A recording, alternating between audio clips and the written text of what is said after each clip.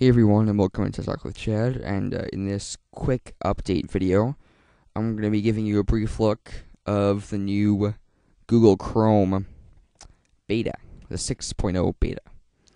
Um, now, you should have got this in the auto update that was uh, issued recently. So, uh, you know, for me, I just opened this up one day and there it was. So, uh, the same thing should be for you. Um, now, to tell if you have the beta.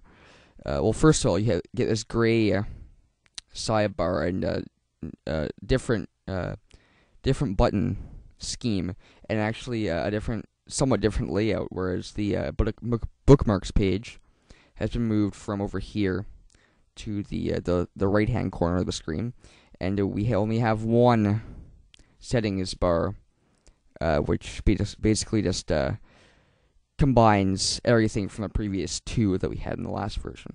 Now it's now if you if you're already if you want to be 100% sure that you have the beta, go into the, the settings bar and go into about Google Chrome, and you should see that it says uh, Google Chrome is up to date 6.0.472.33, and that is the the beta, which it says right there.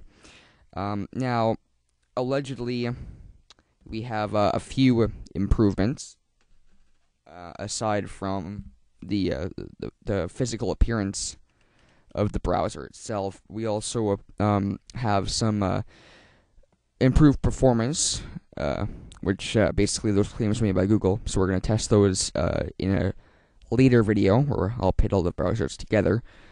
Um, and uh, we also have a smarter autofill. Is another one that they've they've said that it'll allow you to edit multiple entries for autofill uh, and have different uh, autofill options for business, home, personal use, etc.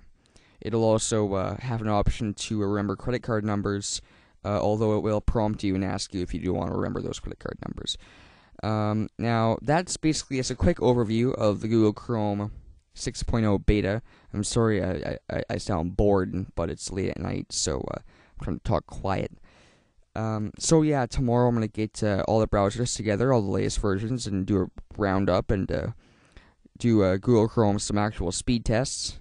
I don't know if I'll get, be able to get an earlier version of Chrome, but I might just to do some benchmarking against a stable version. I don't know, but uh, I'll I'll do that all tomorrow. Upload this tonight, and uh, yeah, so let's Google Chrome beta, um, and have a great day.